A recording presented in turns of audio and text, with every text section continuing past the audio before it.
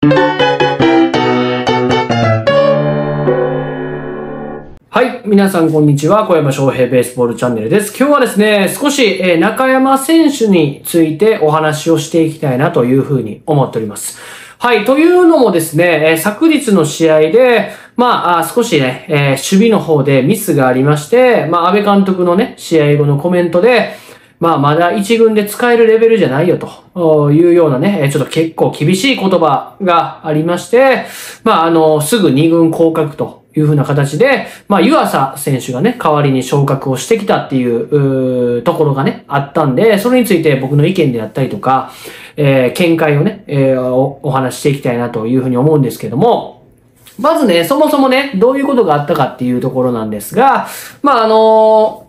えー、2回裏のですね、まあ、先頭の細川選手のサードゴロを、まあ、まあ、記録は、え、あの、ヒットと内野安打というところだったんですけども、まあ、少し待って取ってしまって、で、送球もちょっとこう、上ついて、細川選手ね、しっかり走ってましたんで、あの、内野安打という形になったんですけども、まあ、はっきり言ったら、まあ、これは、記録はヒットですけども、もう間違いなくエラーだし、まあ、アウト取って当然の当たりではあったんですけども、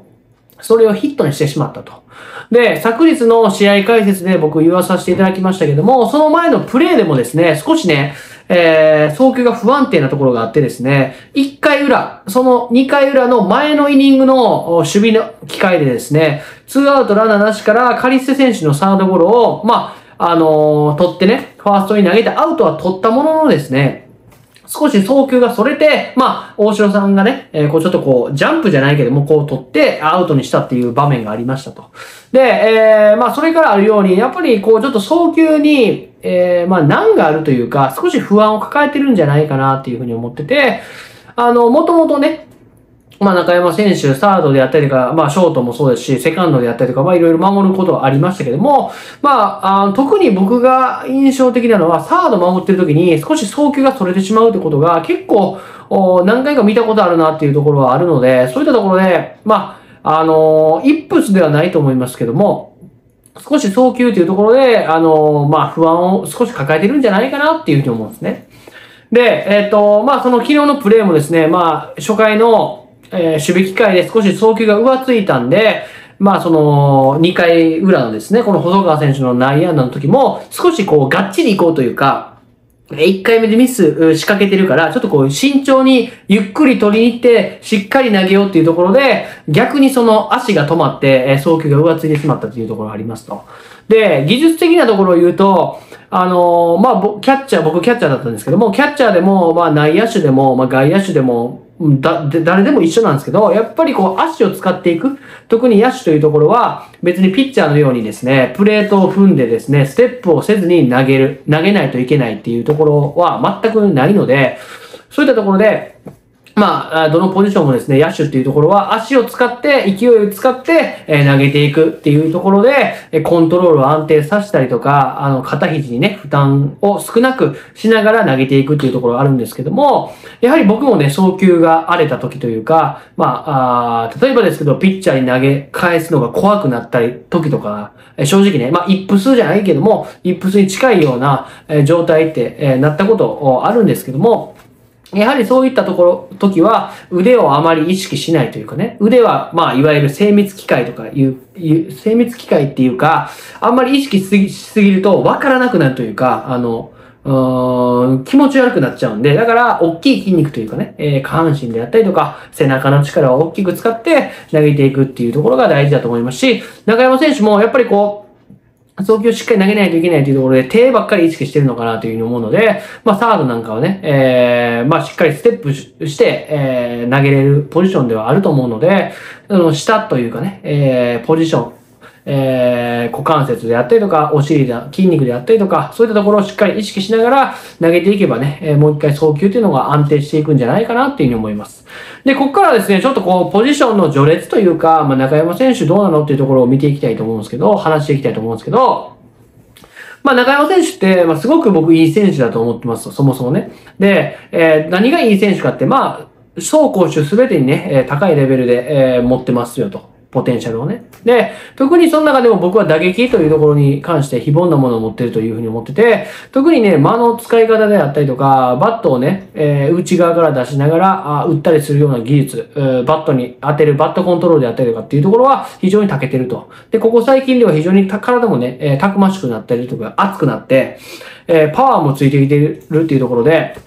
非常にね、打撃というところは間違いなく一軍クラスだなっていうふうに思いますと。で、その上で、やはり内野、え、内野手を守ることが多いですから、守備力も求められてますと。で、えっ、ー、と、今、ジャイアンツの内野手はですね、えー、まあ、サードに坂本選手が入ることが多かったりとか、まあ、モンテスを獲得したりとか、まあ、門脇選手、水口選手などがいて、えー、なかなかこう、入り込む隙がないですと、正直ね。で、特にモンテスを獲得してからですね、特に内野手というところは厳しくなってきてるんじゃないかなというふうに思うし、あの、もともとね、中山選手、まあ、セカンドであったりとか、あサードで、えー、出れる可能性があるんじゃないかっていうふうに言われてましたけども、結局、まあ、今、今のような形になってます。はい。で、あのー、まあ、非常に、まあ、難しいところであるんですけども、まあ、あのー、ちょっとかわいそうだなというところは、まあ、やはりセカンドじゃなくて、えー、門脇選手であったりとか、伊豆口選手が、まあ、ショートを守ってて、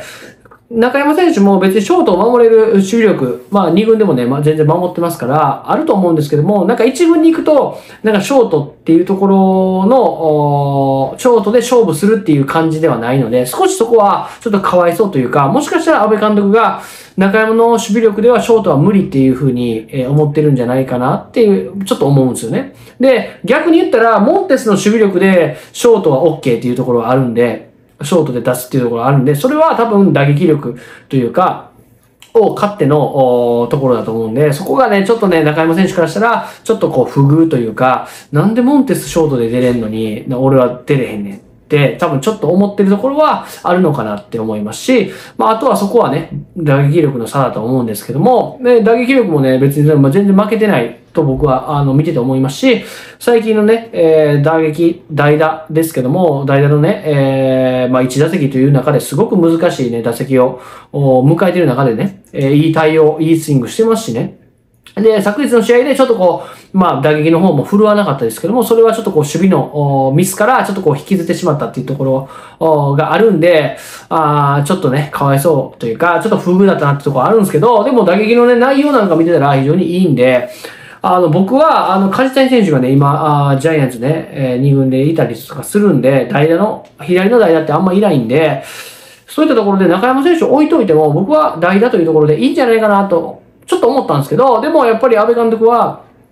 お前はそういう選手じゃないよと。えー、守備もしっかりできて、えー、巨人のレギュラーを取っていくべき選手なんだよっていう風な、えー、裏返しなんちゃうかなって、あの厳しいコメントは。うん。っていう感じはしますし、実際僕も、中山選手、2軍のね、試合であったりとか、2軍の成績であったりとか見てますけども、まあ2軍ではね、圧倒的な数字を残してるわけなんで、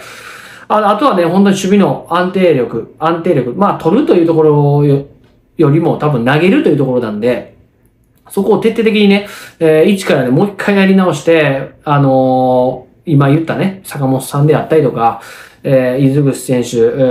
ー、門脇選手、吉川選手にね、えー、こう勝負していけるだけの僕はポテンシャルを持ってると思いますから、そこをね、えー、守備力、特にこう、えー、早球というところをね、向上させて、もう一回ね、えー、這い上がってきてほしいなというふうに思っております。はい、そんな感じで今日は中山選手についてお話していきましたけども、